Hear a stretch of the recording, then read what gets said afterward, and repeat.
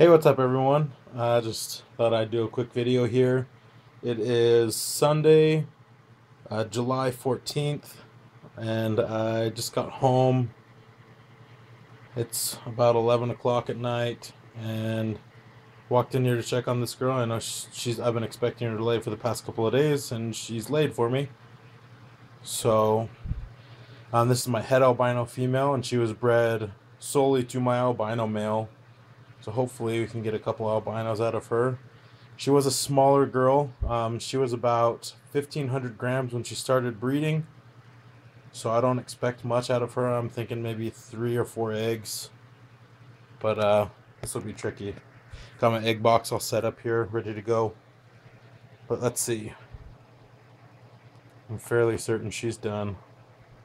She's nice and coiled around her eggs here.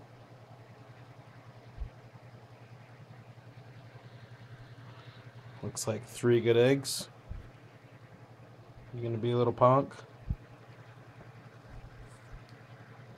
And she is nice and empty. Yeah. Okay. Well,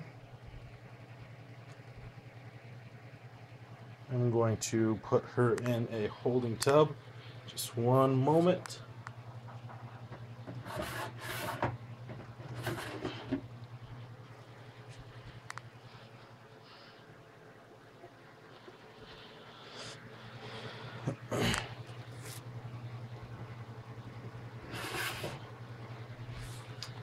All right.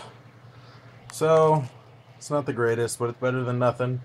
And it is very much so better than my last clutch. So, three eggs. I'm going to set these up. And in 55 days, we will give them a cut. And hopefully, we'll have at least one or two albinos out of these three. But, see what happens. Thanks for watching. Hope everybody's having a good season.